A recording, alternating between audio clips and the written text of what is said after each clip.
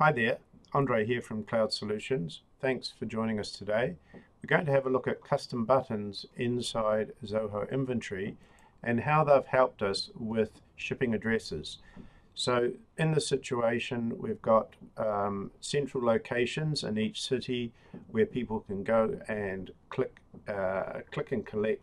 So they can go to these locations in each city and uh, collect their goods that they've purchased online. We've also been able to use uh, custom buttons to integrate with Google Maps.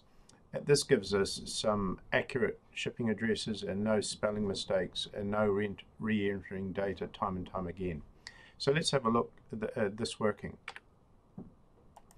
So in uh, Zoho uh, inventory, you'll see that I've got some a customer here on the screen and I've got their home address and I could add a new address and simply copy the billing or home address down to also the shipping address.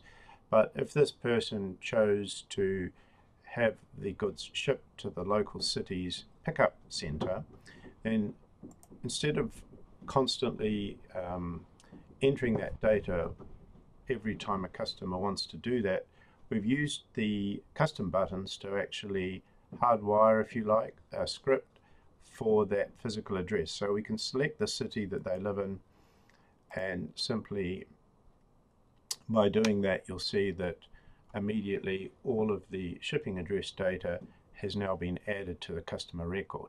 So that was quick and there'll be no mistakes.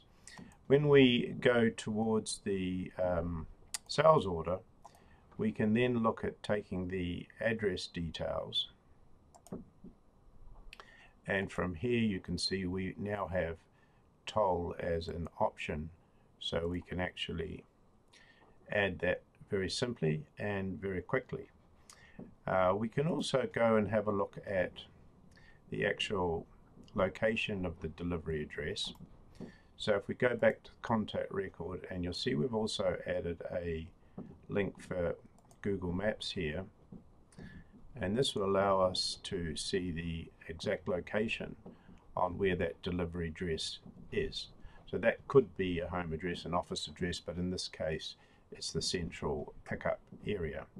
So that was very easy to demonstrate a, let's say, an issue that can be frustrating from time to time, but um, with the Zoho custom buttons, that was an easy thing to um, resolve for our customers.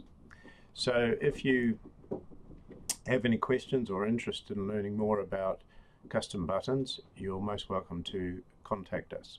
Thank you.